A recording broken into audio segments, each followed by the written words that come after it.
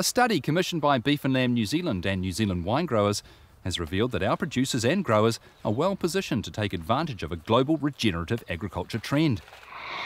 With financial support from the Ministry for Primary Industries Sustainable Food and Fibres Futures Fund as part of its Fit for a Better World program, the research looked at three of our key international markets the USA, the United Kingdom, and Germany to understand the existing markets there and the future potential of regeneratively produced food and wine. Beef and lamb has always had a role to look for extra value from the marketplace. And we could see from our social media to monitoring that we do in several of our main export markets that regenerative agriculture was becoming a, a topic of um, conversation amongst our conscious foodie um, consumers. And it was starting to get past that um, fad into a bit of a mainstream trend. So we knew the, to be on the front foot that we actually had to have a look at what was driving this conversation and to see what the opportunities for New Zealand were. Customers and consumers are looking to purchase products that, that are no longer just doing less harm, that are actually doing more good.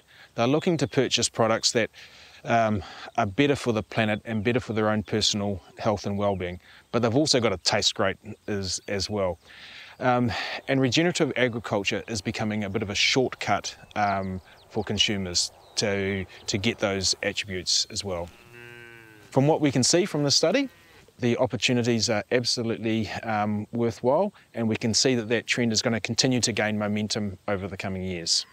New Zealand has this massive opportunity to get out in front and to become a bit of a leader in this space. This home property up here at Woodside west of Greytown is 150 hectares, dry land, very stony soils, drought prone. We finish bulls and do some dairy grazing. And the other farm is 10 minutes down the road um, at the top of Lake Wairarapa. That is an ex-dairy farm um, that's fully irrigated, good silt soils and poorly drained in a sensitive catchment and we grow cash crops and finish lambs and do the odd bit of cattle trading down there. For us, regenerative agriculture is being more resilient and working with the natural elements rather than fighting against them. In this paddock, this is uh, sort of what we've done traditionally, just a, a ryegrass and white clover mix, probably about five years old. We're experimenting with diverse species pasture mixes now and a range of different establishment techniques, whether it's um, spraying out and sowing in in the autumn or just under sowing directly into species like this. Having pretty good success with both techniques and we're moving into sort of just a bit more diversity with, with a range of clovers and a range of different grass and herb species. Um, just getting away from that traditional ryegrass we're finding cocksfoots and, and bromes and um, stuff like that to persist and, and do better up here in our um, summer dry environment.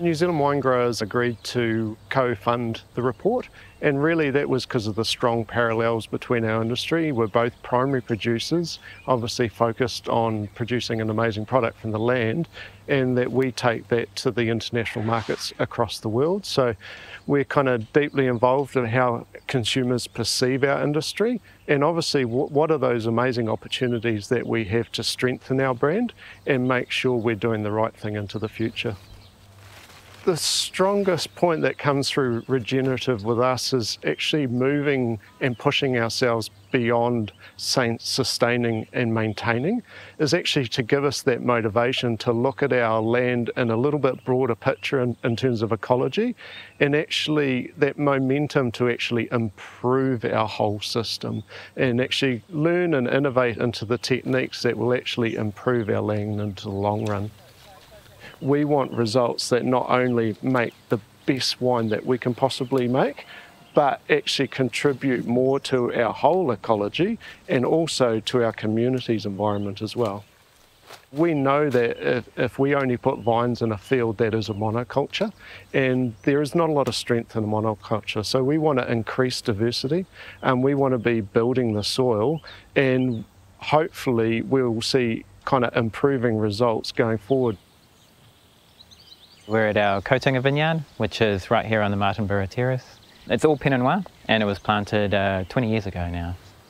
This vineyard here has been organic since uh, 2016 and it's kind of been in a system of limited tillage. So obviously under vine we're allowing things to grow, uh, into row we're cropping um, and we're trying to build resilience and organic matter into our soils to kind of promote longevity of vines.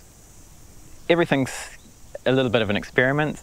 Uh, this year um, we've been putting in cereals, uh, lupins, beans, peas now that we can plant peas in the Wairarapa, macropore builders like radish, just a dozen or so different plants, some flowering to bring in beneficial insects as well.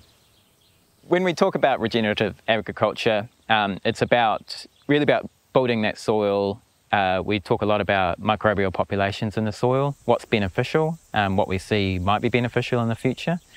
But ultimately, wine quality is a big part of that story as well. So here in Martinborough, it's all about high quality Pinot Noir and Chardonnay and how do we develop that.